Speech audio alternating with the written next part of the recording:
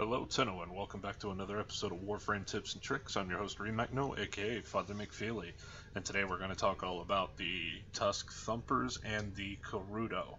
Now, make sure to check the description below this video. I'm going to include time stamps if you want to skip ahead at any point to get to the demonstration or, you know, the build suggestions or anything else. Uh, so, real quick, uh, the Tusk Thumpers were introduced with this update, remastering the Plains Eidolon. They are the only means for getting the new Grineer pneumatic sparring weapon, Korrudo. Uh, you can only obtain the Korrudo from either the Tusk Bull, um, I'm sorry, Tusk Thumper Bull or the Tusk Thumper Doma.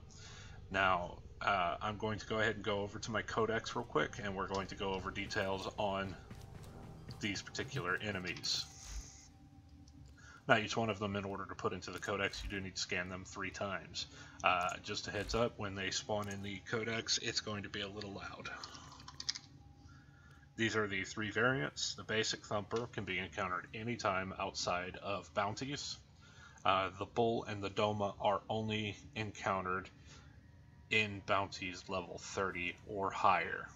Uh, I believe the basic Thumper can spawn in any bounty up to level 30. Beyond that, it will not spawn that I have seen. It might. I don't know. Uh, let me clear up some common misconceptions here. Some people say you can encounter them if you are riding around on your K drive. Uh, you cannot. If you are not on the ground, they will not detect you and they will not come up out the ground. You cannot see them from the sky and they will not detect you in Archwing either. You will need to be on the ground, on foot, maneuvering. I believe their detection range is between 30 meters and 100 meters. Once they detect your movement, you'll hear them coming up out the ground and you may even see them coming up. Uh, so real quick, we'll go over their drops and details about them and then I will do a demonstration shortly.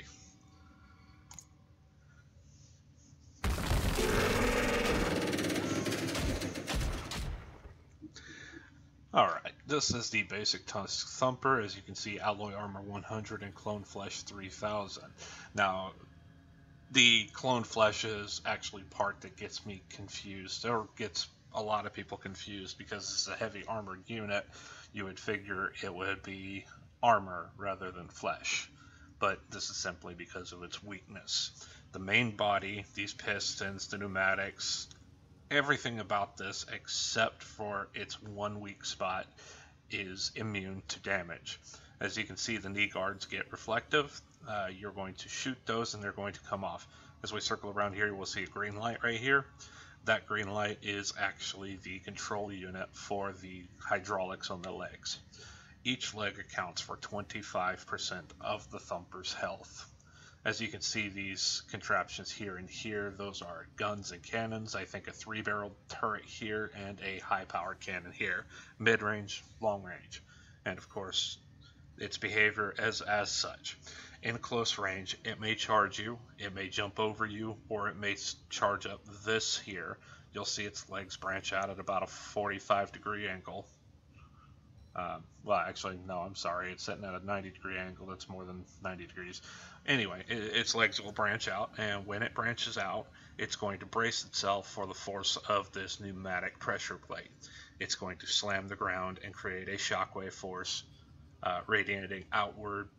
I think about 30 meters. I haven't actually accurately measured that, but uh, we're going to talk about that in detail in a moment.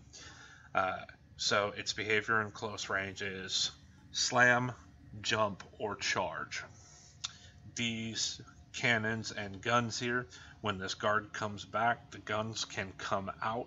If those guards are back, you can shoot the guns, and if you've dealt enough damage, um, those guns will start smoking. As long as they're smoking, they're out of commission, but they are self repairing. They will reappear shortly. So, every now and again, if you want to make sure it's not using the guns and you're forcing it to use these pressure plates here, um, you're going to want to continue shooting the guns.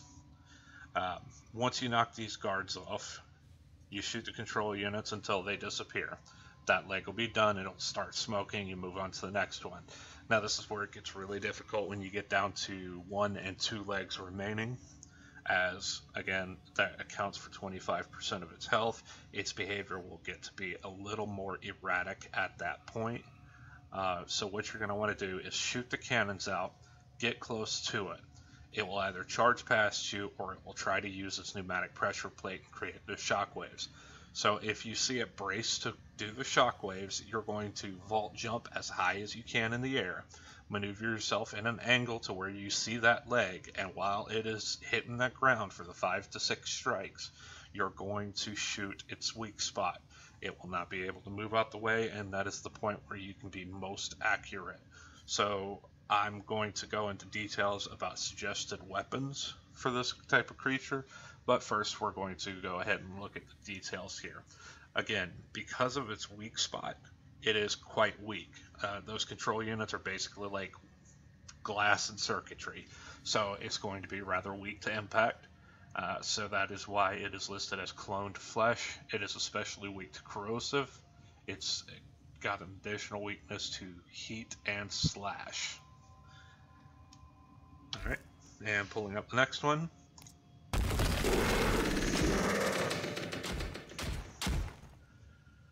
Now this is the Tusk Bull. As you see, its stats on clone flesh is a little bit higher, meaning it's a little bit more durable. As well, if you see its drops, everything it drops is exactly the same between all three with the exception of the Korrudo blueprint. This blueprint with the bull has a 2.5% drop chance. And we'll talk more about the Korrudo shortly. Now onto the Devil. Now visually you'll see this one is actually a little bit bigger than the others and it is definitely more durable. Again it drops the Korrudo blueprint as well as all the same mods and it'll even drop resources for the plains of Eidolon, whether it be gems, fish, etc. Uh, the Korrudo blueprint has a 5% chance to drop from this one. Okay, now that we've gone over the details, we're going to talk about weapon choices. Now, because of its weakness and its behavior, hitting that point is going to be especially difficult with precision weapons such as bows and sniper rifles and single fire weapons. So my suggestion is actually scattershot weapons, area of effect weapons, or you know faster weapons. Uh, this can be the Soma, it can be the uh, Plasmor, I think it is. Uh, I'm not familiar with the Plasmor. It's the one you see everybody firing, creates that big oval blue energy that explodes on impact. Um, sorry, I don't know exactly what that one is at the moment because I've never actually used it. Anyway, uh, my actual suggestion for this is actually going to be the Quartakk here. This is really good Alright, so I'm going to pull up my details. As you see with this build, I have two formas. You don't actually need that. Uh, really what you're going to need is two status mods such as Malignant Force and High Voltage to create your uh, Corrosive. As you can see, this is actually a balanced impact and slash. Uh, it is slightly resistant to impact damage, so even though it will likely hit that impact when you shoot that control unit, it's not going to stifle that much of the damage. Additionally, you're running split chamber and vigilante armaments, increasing your critical hit chance, your status chance, and giving you 150% multi-shot, which means this weapon, which fires 4 rounds per shot, will actually fire between 8 and 12 rounds per shot, with a 47.5% critical hit chance per pellet at a 6.4 multiplier. So that right there is pretty good. You're more likely to hit with a 95.2 status chance with this particular build.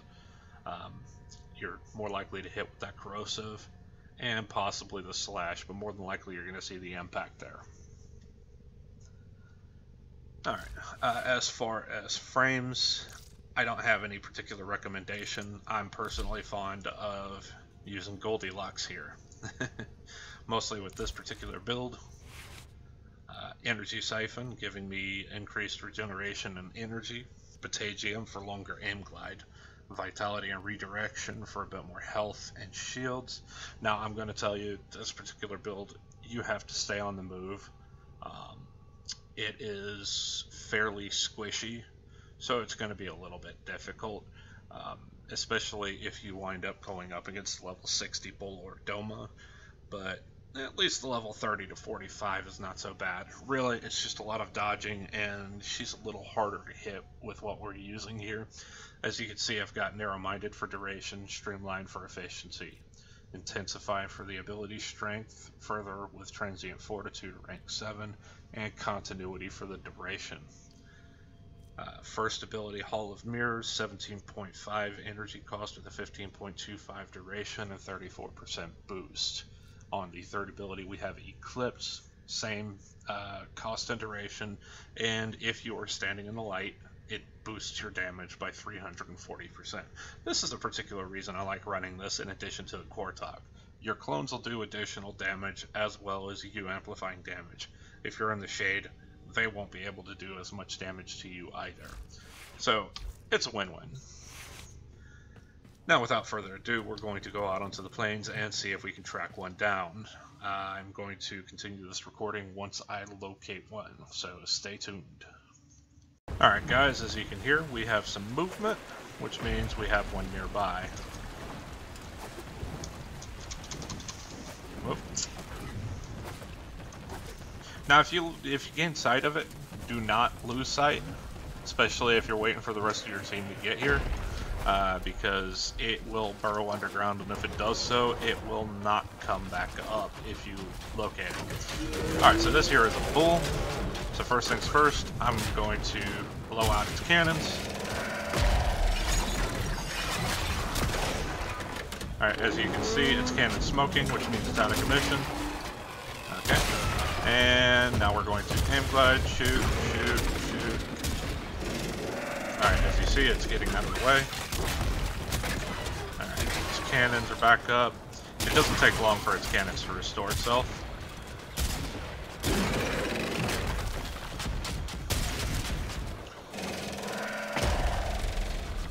So like I said, get up close to it, prevent those guns from activating. Try and entice it into using its, um... Oh. I didn't realize its gun was firing that close. Normally it's mid-range. Keep that gun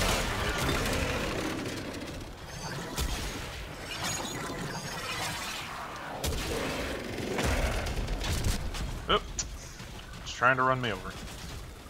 Alright, so I took out one of its legs already. Now you see why I'm using the scatter, so you can miss it. I'm, I'm more than likely doing some damage. Uh, just a heads up, much like most bosses, it's immune to enemy or I'm sorry, uh, Warframe abilities. So using like Nova's abilities, Limbos, etc. It's not really going to work.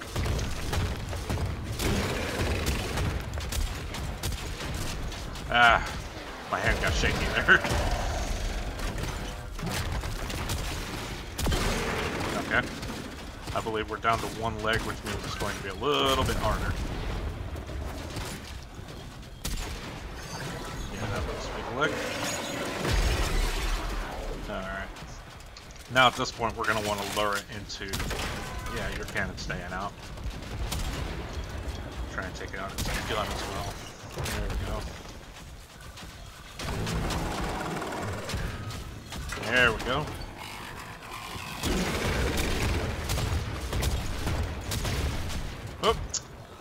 Almost made it. Alright. Uh, keep some guns out.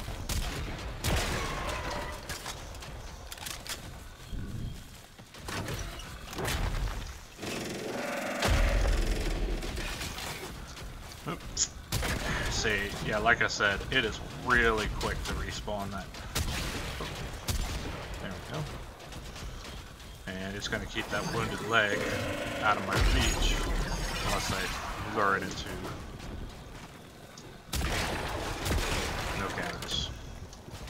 lure it into slamming. There we go. Goodbye. Alright. Now, heads up, it does explode. Alright, so that was fighting the bull. Um, so as you can see, you just you shoot the plates off, shoot the control units, keep focus on those guns, especially that cannon, because if the cannon hits you, it's going to do some damage. Um, at this level, it wasn't much of a concern, even though I'm using a fairly squishy frame, and as you saw, it doesn't really do much damage in general, but defeating it is kind of a headache at times. But, as long as you maneuver around it, you're patient with it and you have a decent weapon. Again, I do recommend scatter shots. Uh, I do recommend area of effect. Do not, unless you are a, like a pro sniper, do not use a bow, do not use a sniper rifle, do not use a single fire weapon. Uh, it is really difficult to hit this guy. You're going to wind up more aggravated and wasting more time. So I hope this guide has helped as far as fighting them. Now I promised we'd go over the Korrudo, so first things first I'm going to pick this back up over at Simulacrum so I can go over details on the Korrudo. Alright, welcome back guys. Uh, as you can see I've currently got the Korrudo equipped, so I wanted to go over this with you. The Grineer pneumatic sparring weapons that you get from the Bull and Doma. Uh, at first, my personal opinion, I am not a fan of the default polarity for the stance. Um, I will demonstrate why. So we're going to go over here to the arsenal and we'll go to upgrade. Alright, so the default stance, the polarity is Naramon, which is Brutal Tide, which is roundhouse uh, attacks and leaping fists. These are the combos for them. Alright, so this is, I've got my melee weapon set to my mouse button 5. Alright, so I've got some enemies spawned out here and we're going to go take a few swings at them. Well, I thought I had spawned them. Hold on. My bad. Alright, as you... Oh, Hold on. I don't know why they were spawned. Okay, now we can go. Alright. These guys are a little bit durable. And I've only set it to level 30. It's Alright, so this is the combos for this particular stance. And I'll point out why I'm not a fan of it. One press. Two sweeping attacks. And as you can see, I pushed past my target. Two presses. Again, pushed past my target, and that was five movements for two presses.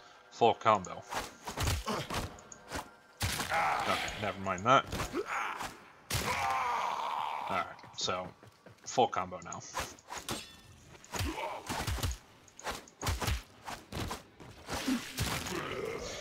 Uh, I'm not triggering. Ah, I hate that. Alright, so I wish you could turn off finishers, but whatever. As you can see, the reach for each attack is a little bit off.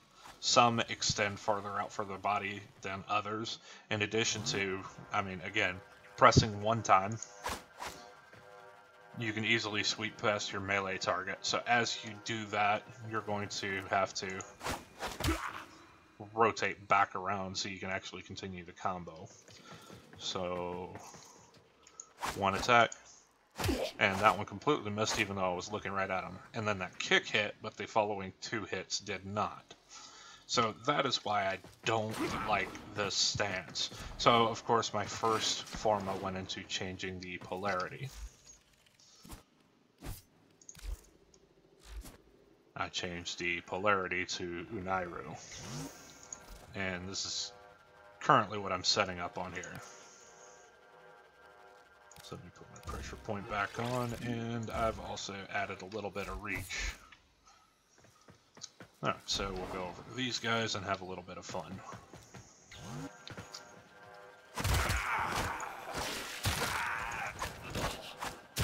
You know what, let me actually turn on the AI here. Sorry, I've never actually done a demonstration like this, so I'm not very great at it, but I'm wanting to convey a point here. Alright.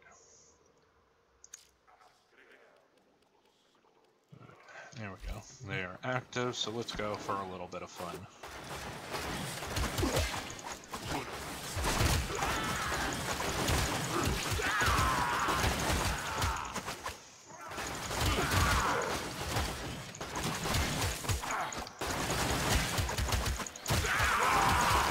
Say it's a whole lot easier to control your attacks when you to stop on a dime. Although I do like that vaulting kick.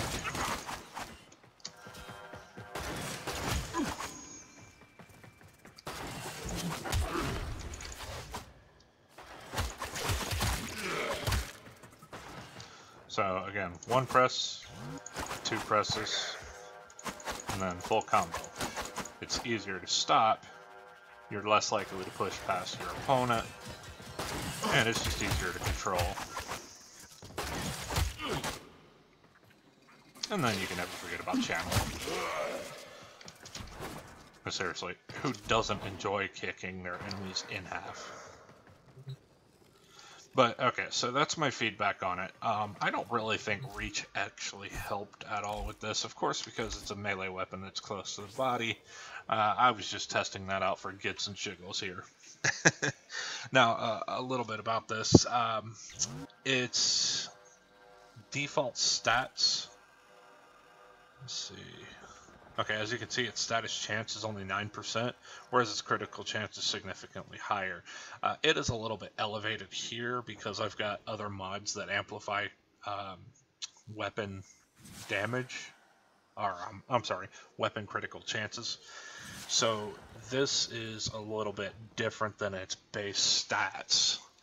Um, so of course this is a critical build. Now, in order to compensate for the lower status chance, if you go for a um, combo build, you can run Weeping Wounds for additional combo stat or status chance per combo multiplier. And I believe the way that works is if you get your combo multiplier up 2.5, that would be 45% times 2.5. Uh, so that would be 90 well, it'd be over 100% boost if you had a 2.5 combo multiplier.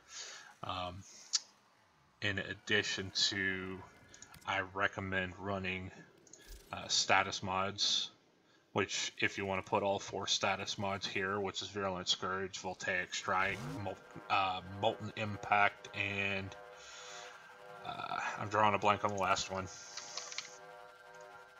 Uh, Vicious Frost, that's it. Volcanic Edge and Vicious Frost.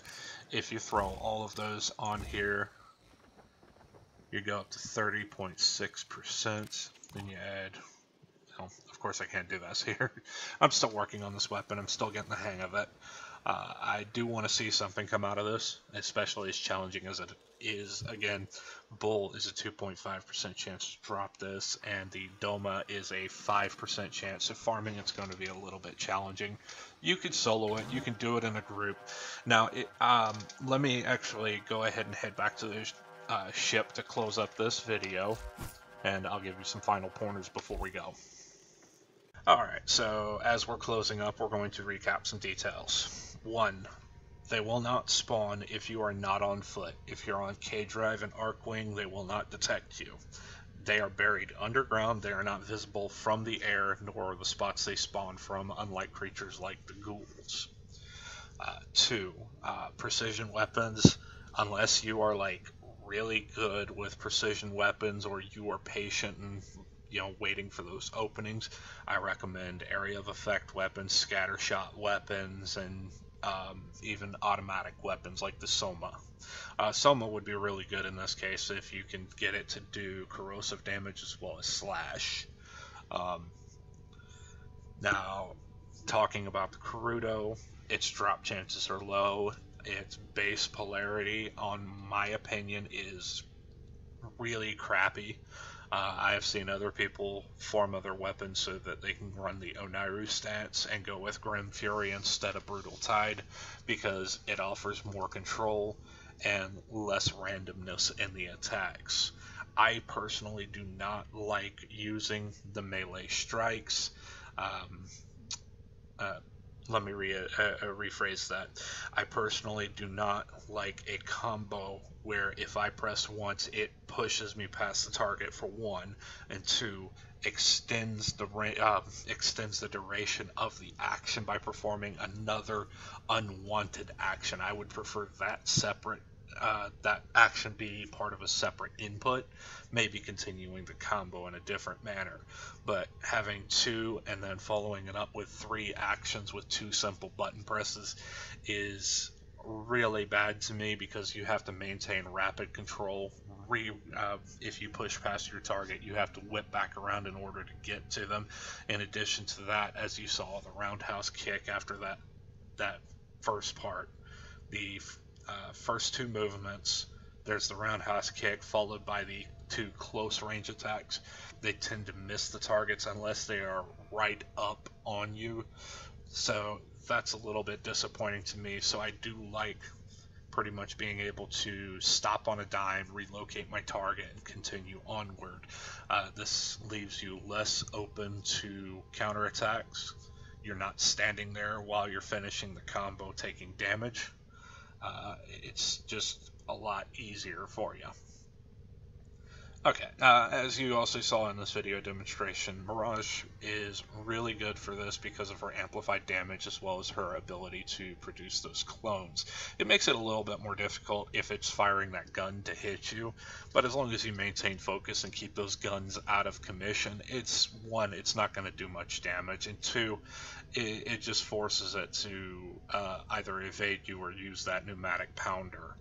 Um, so again, uh, when fighting the thumpers, keep a close proximity.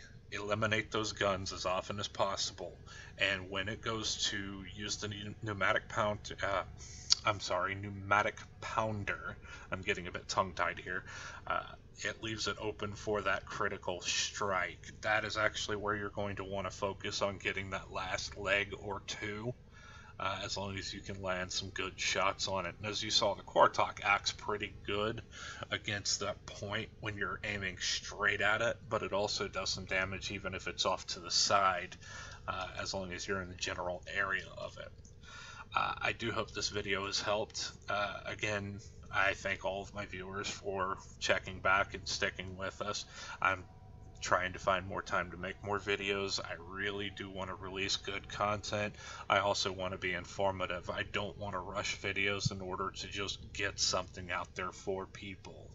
Uh, again, um, I'm going to try and find the time to make more videos that are helpful to people. I know one of the next videos I plan on doing is going to be conservation on Cetus talking about the types of creatures, the floofs, and so on.